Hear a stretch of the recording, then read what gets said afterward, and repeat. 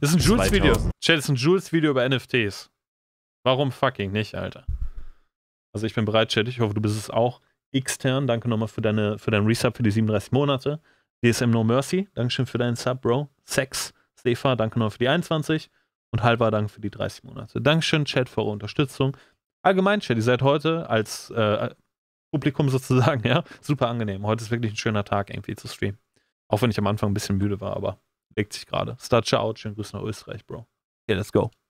Äh, NFTs, Chat, es geht jetzt um äh, Geld vermutlich. Also mit Antworten, passt, passt gut auf, Chat, und lasst euch nicht triggern. 21. Mal gucken, wer diese Zeitkapsel jemals finden wird.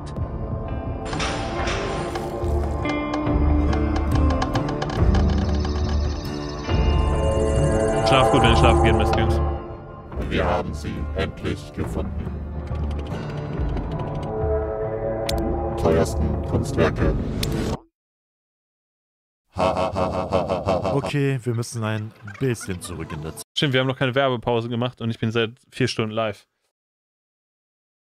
Äh, machen wir immer gleich mittendrin.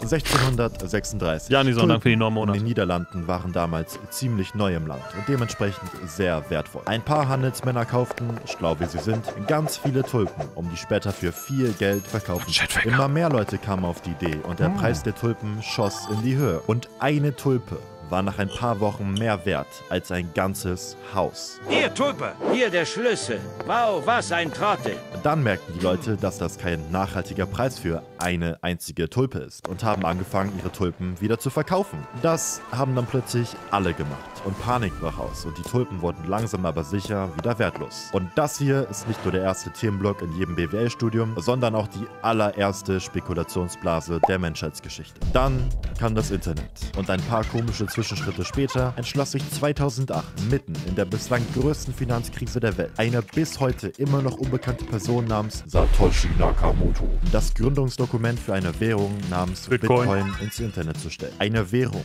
die unendliche finanzielle Sicherheit für die Menschheit bringen sollte, frei von jeglicher staatlicher Kontrolle. Und jahrelang war die revolutionäre Währung namens Bitcoin komplett wertlos. Doch jeder hat den Satz mal gehört. Hätte ich bloß damals Bitcoin gekauft. Hallo, ein Big Tasty Bacon bitte. Ein Programmierer hat 2010 10.000 Bitcoins gekauft und alle 10.000 Bitcoins für eine Pizza ausgegeben. Eine Pizza, die heute 100 Millionen wert sein würde. Spulen wir noch ein bisschen vor, landen wir in 2013. Ein einziger Bitcoin ist jetzt 1000 Dollar wert. Der Typ hier hat 220 Millionen Bitcoin auf seinem USB-Stick, aber sein Passwort vergessen. Er hat noch zwei Versuche, es einzugeben. Sind sie falsch, wird sich alles auf dem USB-Stick automatisch löschen. Der hier hatte auf seiner. Festplatte 182 Millionen Euro in Bitcoin und hat die Festplatte damals auf dieser Müllhalde einfach weggeworfen. Er sucht seit 10 Jahren die ganze Müllhalde ab. Seit neuestem übrigens auch mit Roboterhunden. Oh mein Gott. Irgendwo habe ich den größten Schatz der Yo, könnt ihr aufhören, F in den Chat reinzuschreiben? Ich weiß, dass wir das machen wegen ihm, aber Gott verdammt, Alter, jede Scheiße bringt mich hier gerade aus der Ruhe. Ich habe Angst, dass mein Stream abkackt. Versteckt. Und Alles gut. natürlich sind hier und da ein paar Menschen auch reich geworden mit Bitcoin. Doch in einer ganz anderen Ecke vom Internet passieren währenddessen ganz andere Dinge. Jeder Mensch spielt gerade Flappy Bird. There we go, up with it. Twitch ist noch Ich hab nicht voller halbnackter Frauen. So, nur einer halt übernehmen das ganze Internet. Eines der Memes war Pepe der Frosch. Das Gesicht von Twitch und gleichzeitig auch das Lieblingsmeme und Maskottchen Ich hab Pepe noch nie gesehen. Kennt jemand Pepe?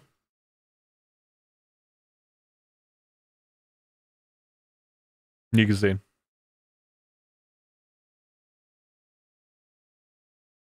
Weiter. Von Usern auf 4chan. Es war ein ganz normaler Tag auf dem Internetboard. Doch plötzlich tweetete Katy Perry ein Pepe der Frosch-Meme, dicht gefolgt von Nicki Minaj. Auch die Konkurrenzplattform Tumblr, mit der sich 4chan schon seit Jahren im Internetkrieg befindet, erstellte plötzlich Seiten über Pepe den Frosch. 4chan gefiel das gar nicht. Und so kam einer auf die geniale Idee, sein Froschbild zu signieren. Und so wurde er geboren. Pepe Nummer 1.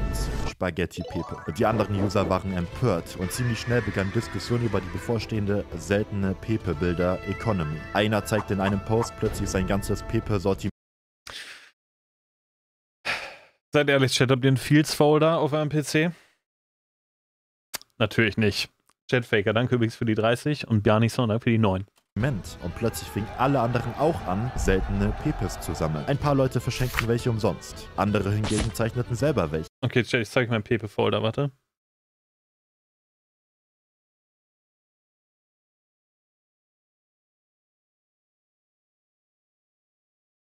Äh, fällt gerade auf, Chat, dass äh, in meinem Pepe-Folder zu viele Pepe-Bilder sind in äh, Begleitung mit anderen äh, Monka TOS-Bildern. Teilweise auch sehr verrückte Pepes. Einfach um den Markt zu füllen. Einer machte es sich zur Aufgabe von anderen Leuten, die Aber er besagten Pepes zu klauen. Und nachdem schließlich BuzzFeed und andere YouTuber darüber berichteten, boten ein paar User die seltensten Pepes, die noch kaum im Internet zu sehen waren, auf Ebay an. Bienenpepe. Pepe, seltene Pepe. Bundle Pack XXL Pepe Pack. 97 Gebot, 29 Gebot, 52 Gebot. Gleichzeitig, irgendwo in Russland, arbeitete ein Typ namens Vitalik bereits an der nächsten Kryptowährung. Er spielte World of Warcraft. Leidenschaftlich.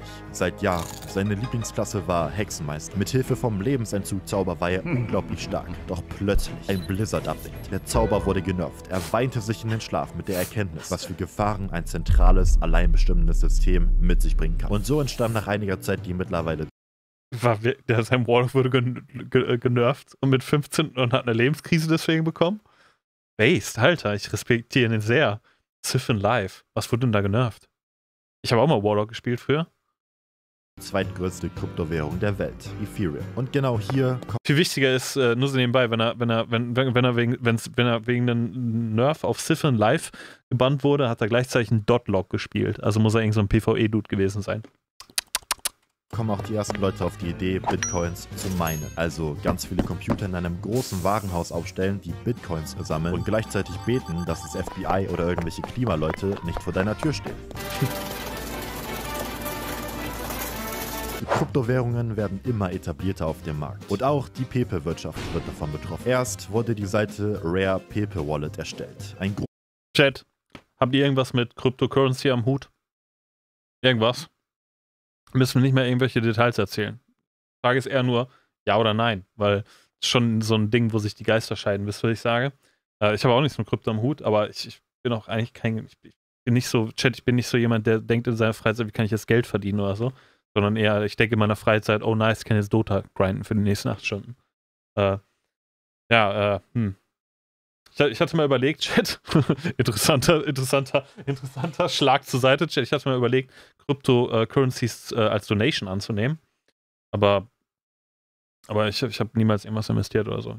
Ja, ich hatte früher mal oder so auf Fortran, auf, äh, auf G, also im Technikforum, hatte ich mal darüber gelesen, 2003 oder so, oder 2013 meine ich, ewig her.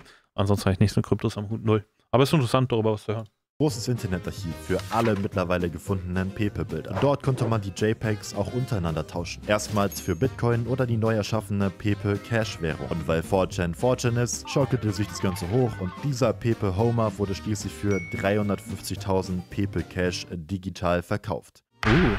Und legte somit den Grundbaustein für den Erwerb von digitalen Kunstwerken mit Hilfe von Kryptowährungen. Und dann kam 2021. Der Kryptomarkt ist gerade in der vollen Blüte. Jeder kann Geld mit Kryptowährungen machen. Hier hat ein Hamster, der durch Röhren läuft, ein ganzes Portfolio vervielfacht.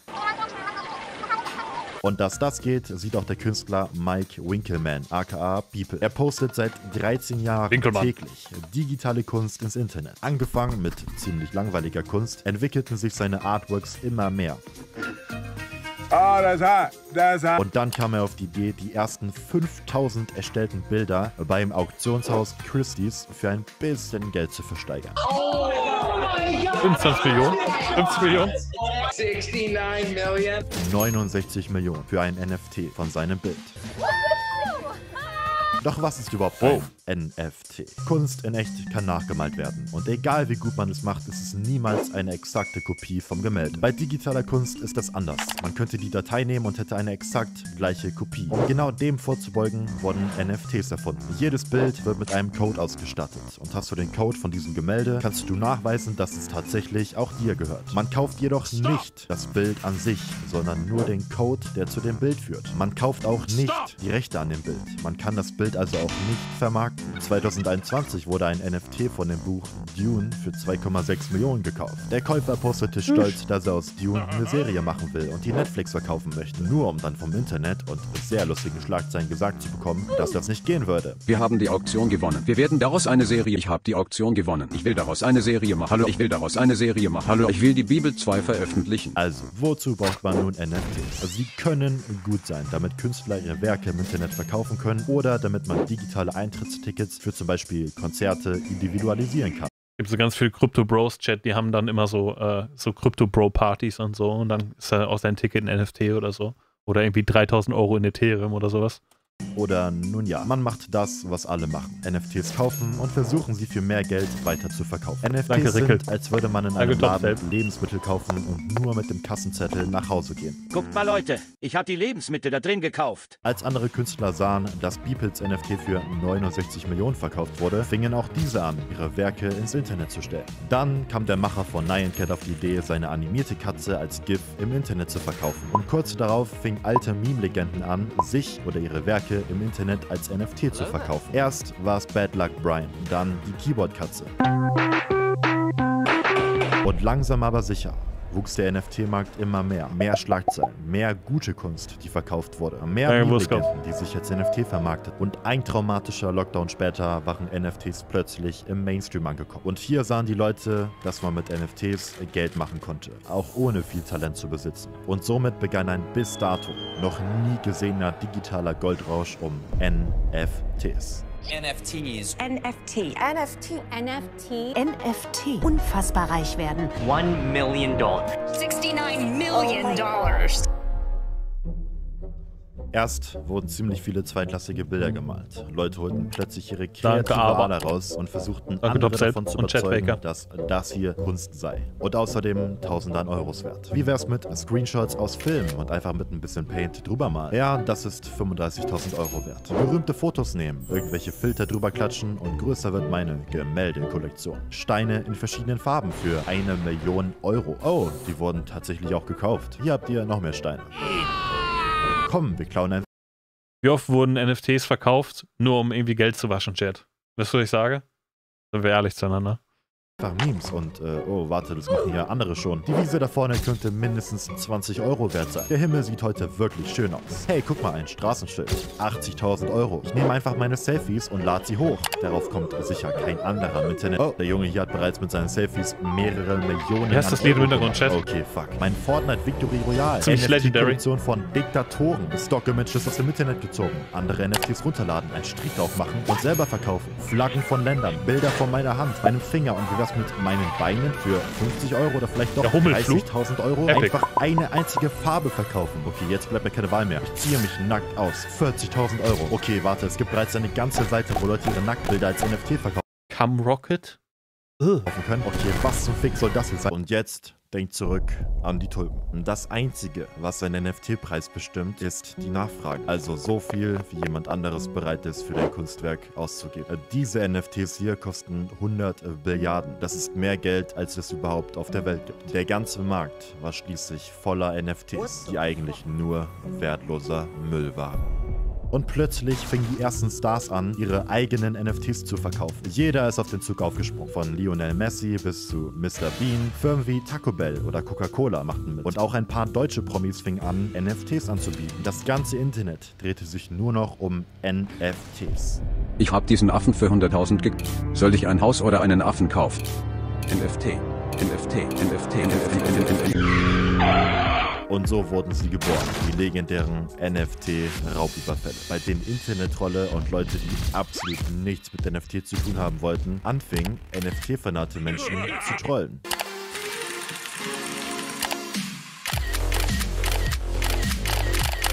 Stopp. Denkst du, es ist witzig, meine NFTs zu klauen? Lösch den Screenshot.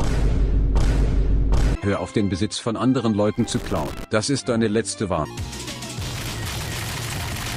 Guck mal, ich habe ein NFT gekauft. Oh, du meinst unseren NFT? Der NFT hier ist wirklich Krass, ich hab den gleichen NFT. Und so brach ein ganzer Krieg zwischen NFT-Hardlinern und Trollen im Internet aus. You think it's funny to take screenshots of people's NFTs, huh? Erst hat es mit ein paar Leuten angefangen. Dann machten ganze Firmen bei der mittlerweile Sport mit, NFT-Leute zu dissen. Screenshot das. Jetzt bist du reich. Der hier hatte ganz andere Dinge mit dem NFT von Ich frage mich, was der vorhatte. Jemandem vor. Wag es nicht. You need to stop screenshotting and Hier hat jemand 100 NFTs von Furries zu einem zusammengefügt und es für 100.000 Dollar verkauft. Einer Uh. hat 10.000 von den hässlichen Löwen-NFTs hier zu einem großen Mosaik zusammengefügt, in dem eine Person rechtsklickt. Ein ganzer Doom-Mod, bei dem man üben kann, hässliche Affen-NFTs zu screenshotten. Eine ganze Seite, mit der man mit einem Klick alle NFTs auf der Blockchain runterladen kann. Der NFT hier ist so hässlich, dass man ihn nicht mal screenshotten wollte. NFT-Leute haben dann versucht, dem entgegenzuwirken, indem sie den Begriff Rechtsklicker-Mentalität einführten, um andere zu degradieren, nur um dann noch mehr verarscht zu werden. Gut. What the fuck are you doing? Twitter führte dann ein Hexagon-Profilbild ein, mit dem man sein NFT mit den Handelsplattformen verlinken konnte. Das kam nicht sehr gut an und hat die Sache eigentlich nur noch schlimmer gemacht. Silence Hexagon. Und hier fingen auch die restlichen Promis an, NFTs anzubieten. Erst nahm man uns auf diese Weise Johnny Sins, NFT. dann Eminem, der sogar ein ganzes Musikvideo zu den Affen-NFTs releaste. Dann Hasbullah, KSI. Ein deutscher YouTuber verkaufte sogar sein Lamborghini für ein NFT. Der hier hat gleich seine ganze Niere verkauft. Hier fing man dann Ein deutscher YouTuber. Moment. NFTs releaste. Dann Hasbullah, KSI. Ein deutscher YouTuber, icrimex.eth. Okay. die schon lange tot sind, auszugraben, um NFTs unter ihrem Namen zu verkaufen. Will ich wirklich zum Grabschänder werden? Na klar will ich das. Ja. NFTs sind unter anderem so hässlich, weil sie mit Hilfe von Programmen, die verschiedene Körperteile aneinander rein erstellt werden und deshalb rein ästhetisch überhaupt gar keinen Sinn ergeben.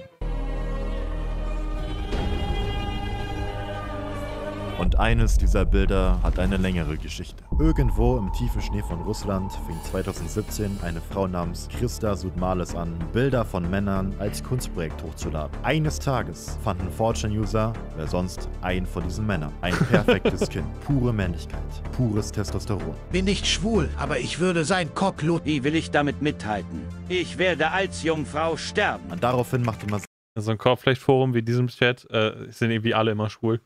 Klassiker. Passiert, wenn man zu viel rumhängt mit Insels. sich jahrelang auf die Suche nach der Identität des Mannes, der an diesem Tag der Gigajet getauft wurde. Vier Jahre später erfuhr man schließlich, dass er von den Memes gehört hat, aber jegliche Art von Businessanfragen und Interviews ablehnen würde, weil er mit keinem kooperieren möchte und nicht wüsste, was ein Podcast sei. Wow, der Mann namens Ernest Kalimov Holy shit, alter Chat.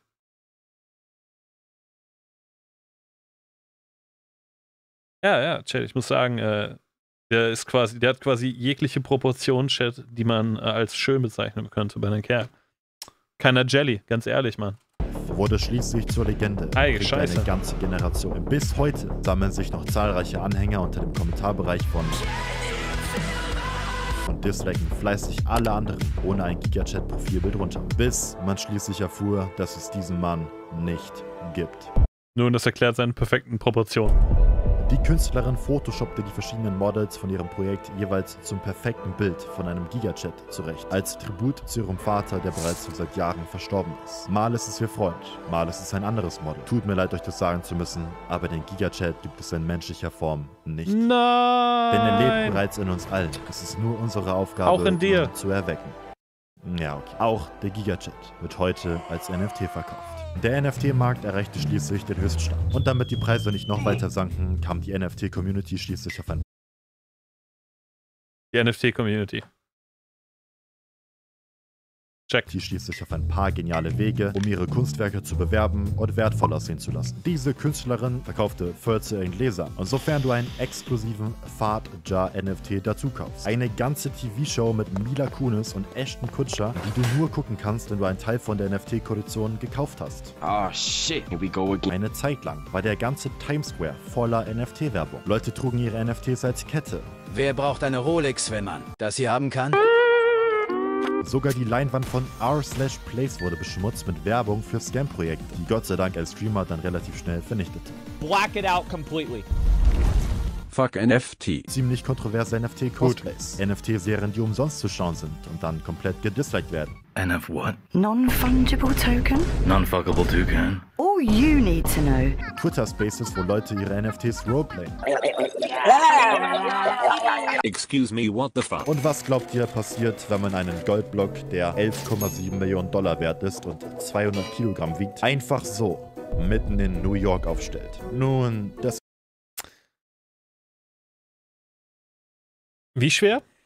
Internet macht das, was es am besten kann. Minecraft, Minecraft, Minecraft. Keine Sorge, ich habe schon immer dafür trainiert. Fortnite, Fortnite. Okay, Boys, wie können wir diesen Goldblock, der von vielen Securities bewacht wird, am besten stehlen? Helikopter mit einem Magneten dran sollte mehr als genug sein. Oh, scheiße. Oder vielleicht doch fortgeschrittenere Technologie? Okay, what the fuck? Ich verkaufe einen NFT. Okay, wir brauchen den Mann von Game of Thrones, der den Goldblock einfach wegträgt. Ein Enterhaken. Zu kompliziert. Eine Käsefirma stellte plötzlich daneben eine riesige Käsepackung auf. Nun, auch der Goldblock war ein NFT-Stunt, der ziemlich in die Hose ging. Ich meine, stellt euch vor, ihr seid obdachlos und plötzlich ist da ein fucking Goldblock vor euch und man sagt euch, das ist Werbung für einen Non-Fungible Token Drop. Bro. Der Würfel wurde nach einem Tag wieder weggefahren. Und jetzt wieder zu den anderen Werbemethoden. Eine Dating-App ausschließlich für Leute mit einem Affen-NFT. Die scheiterte daran, dass sich zu 98% Männer anmeldeten. Wer hätte es gedacht? Eine ganze Insel Oh mein Gott. Namens Cryptoland. Oh, Cryptoland Tokens. Sofern du ein NFT What? besitzt, darfst du auf dieser Insel leben und mit anderen NFT-Krypto-Kumpeln coole Sachen unternehmen. East Dress Room. A pool full of coins? Go ahead and try. Every. Woran das Projekt schließlich scheiterte? Was wird das Einwilligungsalter in Kryptoland sein? Mental erwachsen sollte mehr als genug sein. Nein. Nein. Tötet sie alle. Und schließlich der Bored Ape Yacht Club. Die größte NFT-Community, die man überall im Internet für Danke, Customer Support. Preise zu sehen bekommt. Eminem, Post Malone, Justin Bieber, wirklich jeder redete über die größte NFT-Kollektion von allen. This is your, this is your mine. ape. Are we debuting It's it? really cool. Eh, This is my ape. yours. Yours is so cool. I love Wisst ihr, Chat, diese NFT sehen aus wie so, äh, kennt ihr so, so Anime, äh, Char also Charakter-Creator quasi, so im Internet quasi, womit man so, keine Ahnung, so, so Profilbilder machen kann für Twitter und so. Genauso sieht das aus, nur halt mit Affen. Als Club-Member bekam man verschiedene Vorteile und konnte diesmal tatsächlich sein Affen-NFT vermarkten. Ein ganzes Festival wurde exklusiv nur für Leute mit diesem NFT veranstaltet. Der VIP-Bereich ließ zu wünschen übrig, aber die Partys und Veranstaltungen um diesen Club waren ziemlich riesig. Leute tätowierten sich das Logo, Ey, scheiße. trugen Hoodies, verkauften Merch, ganze Restaurants wurden gegründet. Cover auf dem Rolling Stones Magazin. Überall war das Bored Ape Yacht Club Logo zu sehen. Und kommt es euch bekannt vor? Und das hier ist das Logo Von der Waffen-SS. Ja. Ich sehe leichte Unterschiede, aber ich verstehe, was er sagen will. der nationalsozialistischen Waffen-SS-Schutzstaffel. Oh fuck. Exakt 18 Zähne. Gleiche Anreihung, gleiche Schrift, gleich positioniert. Und nun ist K Moment, Moment, Moment. Aber die Frage ist jetzt, wie, wie viele Zähne habe ich im Mund? Soll ich durchzählen? Ah, ah, ah, ah, ah, ah. Wie viele Zähne habe ich im Mund, Chat? Nun es kann sein, dass die vier Gründer vom Bored Ape Yacht Club 4chan-User waren und es witzig fanden, subtile rechtsradikale Botschaften in den NFTs zu verstecken. In jedem der vier Namen der Founder sind versteckte Anspielungen zu